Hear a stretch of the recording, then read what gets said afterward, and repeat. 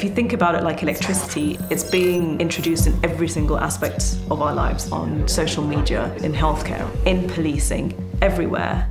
In our society, perfection is aligned with whiteness, with cis-presenting men. So the same people that are not recognized by facial recognition systems become the same people who are historically over-policed and surveilled. If you're having these systems making decisions about who to kill, if they make a mistake, who's going to be held accountable? killer robots can never be able to understand the value of human life. Technology is not a science that can be perfected. It's an engineering problem where we're always trying to balance the risks and the, and the costs. And so as they calibrate these things to their interests, it's going to be calibrated against you at some point.